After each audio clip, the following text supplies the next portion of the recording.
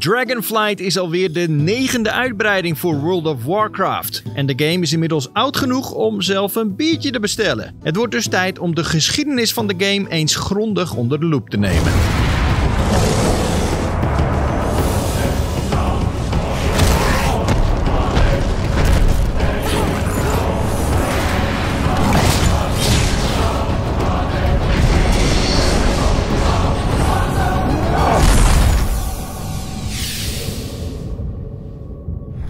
Warcraft is al 18 jaar de onbetwiste koning van de MMO's. En dat is in de cijfers terug te zien. Er zijn maar liefst 122 miljoen mensen met een World of Warcraft account en in totaal hebben deze mensen er samen 9 miljoen jaar aan speeltijd op zitten. Die cijfers zijn behoorlijk indrukwekkend en daardoor is het nog bijzonderder dat de geschiedenis van de game eigenlijk vol met ongelukjes zit die goed uitpakten. Al sinds de jaren 70 van de vorige eeuw probeerden mensen het mogelijk te maken om met grote groepen samen te gamen. De MMO's zoals we die nu kennen waren er nog niet. Het was namelijk op technisch vlak niet mogelijk om veel spelers met elkaar te verbinden. In de jaren 90 werden computers ineens een stuk goedkoper en werd commercieel internet een ding. Daardoor gingen de deuren open voor ontwikkelaars. Veel traditionele gamemakers besloten om op de MMO-hype-trein te stappen. En al snel kwamen er succesvolle MMO's op de markt, zoals Ultima Online en EverQuest. En met die twee titels werd het genre al snel mainstream in het Westen. Ook onder werknemers van Blizzard waren MMO's populair. Na de ontwikkeling van StarCraft besloot de studio aan de slag te gaan met twee nieuwe titels. De eerste daarvan was Warcraft 3, Reign of Chaos. En die tweede had nog geen naam. Die tweede game is altijd naamloos gebleven en dat zegt eigenlijk genoeg. Het project is namelijk geannuleerd. MMO's waren dus zowel binnen als buiten Blizzard populair en plotseling had de studio een team zonder project. Dat team mocht aan de slag met een MMO, gebaseerd op de Warcraft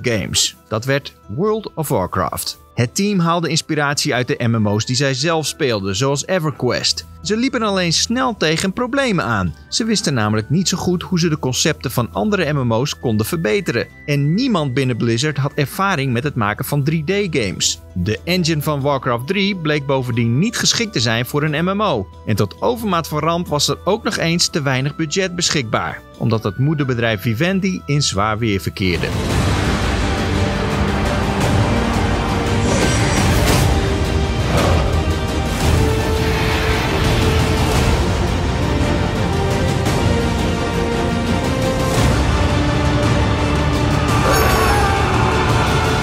World of Warcraft toch bestaat, heeft volgens ingewijden te maken met de drie topmannen van Blizzard. Alan Adham, Frank Pierce en Mike Morham zijn volgens de verhalen echte pioniers. Hun deur stond altijd open, fouten maken mocht en creativiteit werd altijd aangemoedigd. En die houding heeft zijn vruchten afgeworpen. Het resultaat was namelijk dat World of Warcraft een opeenstapeling was van ongelukjes die goed uitpakten, experimenten en wilde ideeën. Het werd dan ook niet voor niets de meest succesvolle MMO ooit. Het 40-koppige team van World of Warcraft slaagt erin om de game in 2004 uit te brengen in Amerika en Australië. In Europa konden we in 2005 voor het eerst met de game aan de slag. Al snel werd World of Warcraft ontzettend populair. Een klein jaar na de release werd de game al door 5,5 miljoen mensen gespeeld. Maar dat betekende niet voor Blizzard dat ze hun snikkels in de champagne konden hangen. De studio was namelijk helemaal niet klaar voor het grote succes van een MMO. Een MMO is immers nooit af en moet altijd nieuwe content worden gemaakt. Blizzard maakte voorheen alleen singleplayer games en dit waren ze absoluut niet gewend. Bovendien was de game zo populair dat Blizzard moeite had om de hoeveelheid nieuwe spelers op technisch gebied bij te houden. Bij de opening van de Ankrai raid kwamen er bijvoorbeeld zoveel spelers op de game af dat de servers uit hun voegen barsten.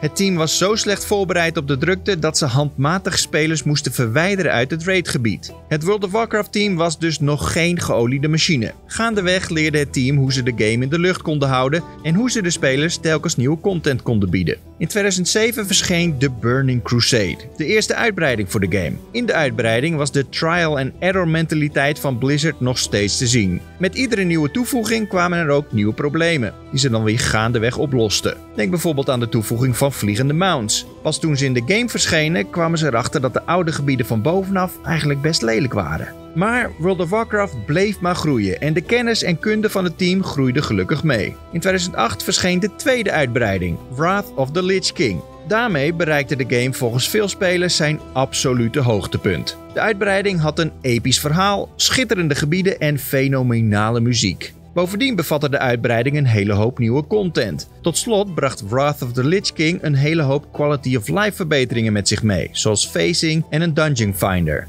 Daardoor speelde de game een stuk prettiger. En zo had Blizzard de MMO geperfectioneerd. En dat was te zien in de spelersaantallen. De game telde maar liefst 12 miljoen abonnees. Maar dit succes zou niet lang aanhouden. But at last, the whole of Azeroth will break. And all will burn beneath the shadow of my wings. Wrath of the Lich King besloot Blizzard het namelijk over een andere boeg te gooien. Bij de derde uitbreiding, Cataclysm, werd een groot deel van de begingebieden op de schop genomen. Om te zorgen voor nieuwe content en nieuwe gebieden werd maar liefst 70% van de oude content gemoderniseerd. Die keuze viel niet zo in de smaak en het was nog eens een gigantische klus voor Blizzard. Alle opvolgende uitbreidingen kregen kritiek over zich heen. Volgens spelers waren de kerkers van Cataclysm te moeilijk, was de toon van Mist of Pandaria te luchtig en had Warlords of Draenor te weinig endgame content. In 2015 had World of Warcraft weer 5,5 miljoen actieve abonnees. Net zoveel als één jaar na de release van een game. Gelukkig keerde het tij met de zesde uitbreiding, Legion. Blizzard leek weer te luisteren naar de spelers en ze voegde maanden na release nog steeds veel nieuwe content toe. Legion is volgens veel spelers dan ook nog steeds de één na beste World of Warcraft uitbreiding. De game heeft echter nooit meer dezelfde pieken gehaald als in 2008. De opvolgende uitbreidingen Battle for Azeroth en Shadowlands werden dan ook een stuk minder goed ontvangen dan Legion. Someone once said that you can't go home again. But they lacked vision. And a temporal discombobulator.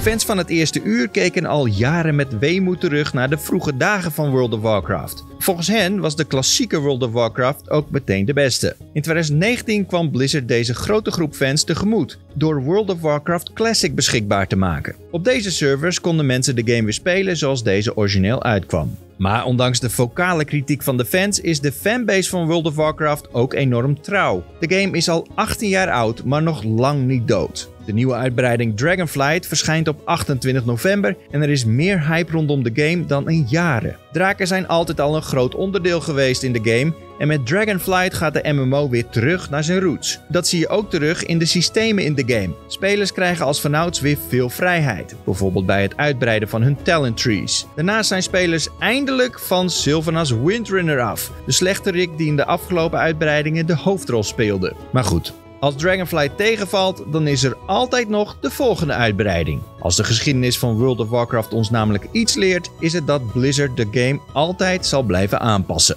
De MMO blijft voorgoed in ontwikkeling en dan zit een volgende experimentele gelukstreffer altijd in een klein hoekje.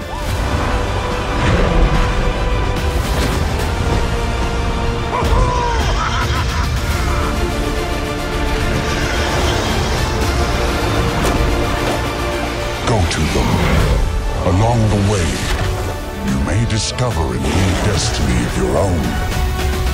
Zo, nu ben je weer helemaal bijgepraat over de geschiedenis van World of Warcraft. Ga jij aan Dragonflight wagen of ben je al jaren geleden afgehaakt? Laat het ons weten in de reacties. En vond je dit nou een leuke video? Geef dat duimpje dan een pets omhoog en druk dan gelijk even op de abonneerknop.